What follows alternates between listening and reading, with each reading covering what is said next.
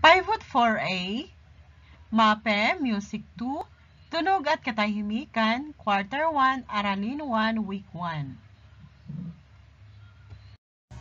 Magandang araw muli mga bata. Ako nga pala si Teacher Kalumpang, ang iyong makakasama sa iyong pagkatuto sa oras na ito.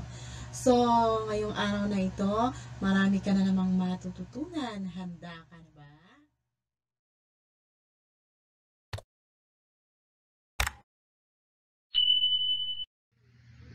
Isa sa pangunahing sangkap ng musika ay ang ritmo o rhythm.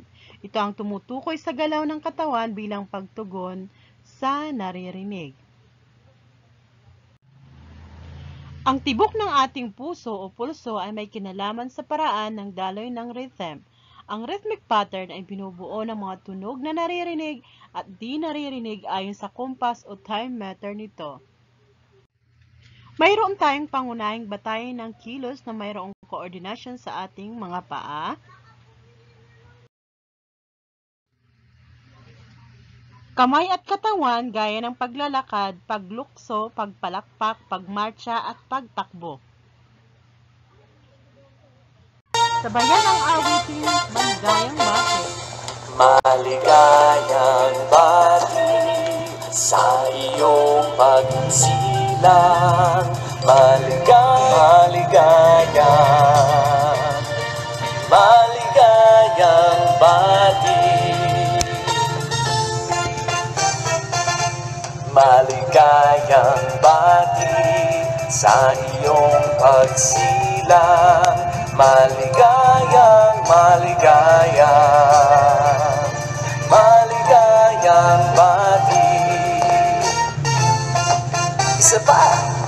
Maligayang bati sa iyong pagsilang Maligayang, maligayang Maligayang bati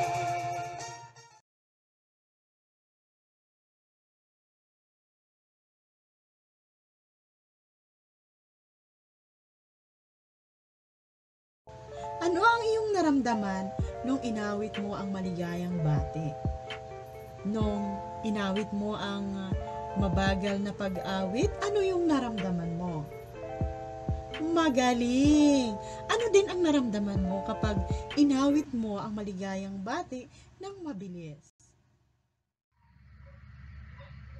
Note values and its rest values. So, ayan. Tingnan natin anong pagkakaiba. Whole note, play, play for 4 beats. Whole rest naman, rest for 4 beats. Half note, play for 2 beats. Half rest, rest for 2 beats. Quarter note, play for 1 beat. Quarter rest, rest for 1 beat. Eighth note, play for 1 half of a beat. Eighth rest, rest for 1 half of a beat. Whole note, play for 1 fourth of a beat. Sixteenth rest, rest for 1 fourth of a beat. Ngayon, tukuyin natin ang mga larawang ipinapakita kung ito ay malakas ang tunog. Pumalakpak kung ito ay malakas at pumadyak naman kung mayroon itong mahinang tunog. Tingnan natin ang mga larawan. Una, drums, tambol. Mahina ba o malakas? Yan ay mayroong malakas na tunog. Magaling. Pusa. Ang pusa ba ay mayroong mahina o malakas na tunog? Tama ka, ito ay may mahinang tunog. Pusa ay ahas. Ang ahas ba ay may malakas o mahinang tunog? Mahinang tunog. Magaling. Ang tunog ng ambulance. Magaling, ito ay malakas. Ang tunog naman ng ulan. Tama ka. Ito ay mahinang tunog, pumadyak. aso, malakas ba o mahina? Malakas ang tahol ng aso. Malakas yan. Nakakabingi. Ikaw ay papalakpak. Tunog ng train. Magaling. Ito ay may malakas na tunog. Lagi nating tatandaan mga bata na ang mga tunog na ating naririnig sa ating kapaligiran ay may pagkakaiba-iba ayon sa taas, baba, laki at liit, kapal at nipis at gaan at bigat ng tunog na nalilika nito. Ang rhythmic pattern ay binubuo ng mga tunog na naririnig at di naririnig ayon sa kumpas o time meter nito. Tandaan natin, ulitin natin, ang rhythmic pattern ay binubuo ng mga tunog na naririnig at di naririnig ayon sa kumpas o time meter nito.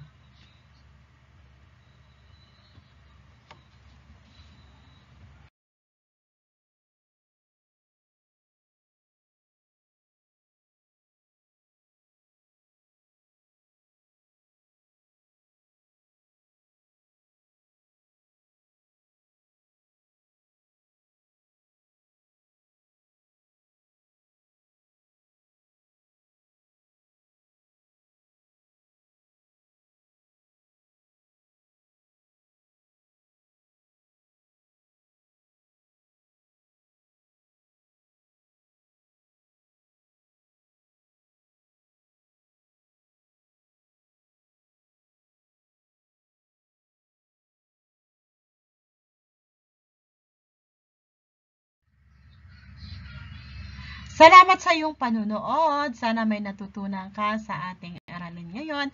Pwede mo ring mapanood ang isa pang video na makikita sa inyong screen. Thank you and God bless! Salamat sa panunood!